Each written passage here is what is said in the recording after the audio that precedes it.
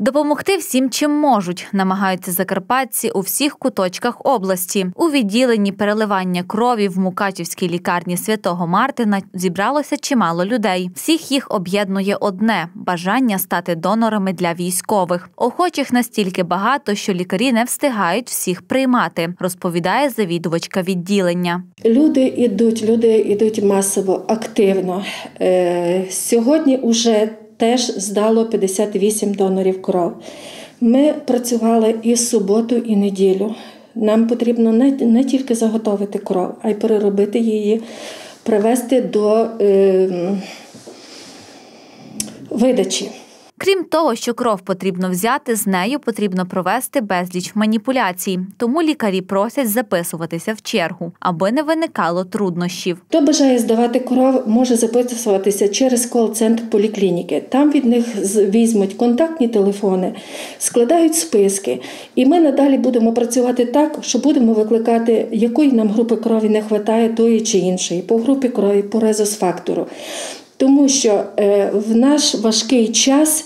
Ну, зараз ми поки не, не було заявки в нас, що ми відправляємо вже кров туди, куди потрібно. Лікарі, вчителі чи підприємці всі ці люди сьогодні донори. Своїм обов'язком вважають допомогти тим, хто ціною власного життя боронить країну. Це найменше, що ми можемо зробити, розповідають люди. Тому що я вважаю, що кожен свідомий громадянин України, якщо він не на передовій, не на фронті, він має зробити свій, хоч маленький вклад в перемогу нашої держави.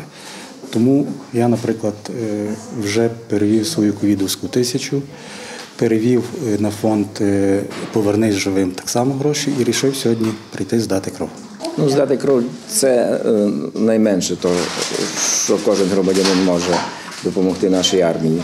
Я також е, перевів гроші на фонд Повернись живим. Ну і от кров. Людина, по-перше, має бути морально підготовлена до цього, утриматися там від вживання спиртних напоїв до, до того. Ну і от тут, тут інструктують добре, тут все розказують, хто як там, де зареєструватися, е, пригощають всіх кружкою чаю з лимоном. Ну, не вперше здаю, я в армії здавав, коли діти рожалися, здавав. А здаю, тому що менше всього, що можна зробити на даний момент. Поки що раз так, треба буде більше, будемо робити більше. Перед процедурою лікарі дають чіткий інструктаж майбутнім донорам для того, аби для всіх учасників цього процесу він був безпечний, а найголовніше результативний. Обов'язково е, проводимо інструктаж, об'ясняємо, як має підготуватися донор перед е, здачею крові, не вживати за два дні алкоголь, обов'язково поснідати перед здачею і з гарним настроєм.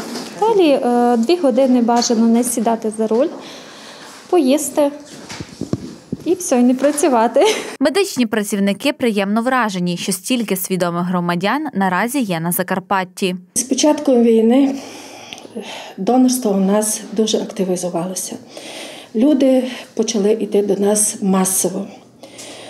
Е, З перший же день, 24 числа, ви собі не уявляєте, навіть 14-річний хлопчик прийшов, бажав здавати кров.